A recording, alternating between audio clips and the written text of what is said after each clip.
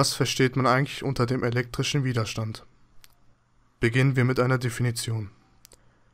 Der elektrische Widerstand ist ein Maß dafür, welche elektrische Spannung erforderlich ist, um eine bestimmte elektrische Stromstärke durch einen elektrischen Leiter fließen zu lassen. Der elektrische Leiter ist der Widerstand.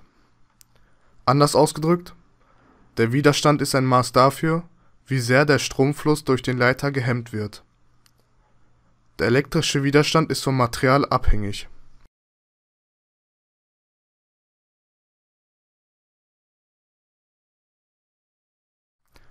Als Formelzeichen für den elektrischen Widerstand wird ein R eingesetzt.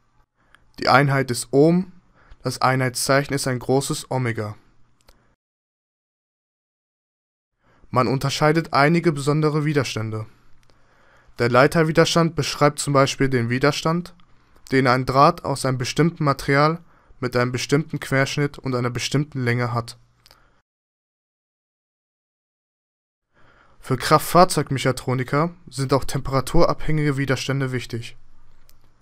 Bei temperaturabhängigen Widerständen ändert sich der Widerstandswert mit fallender oder steigender Temperatur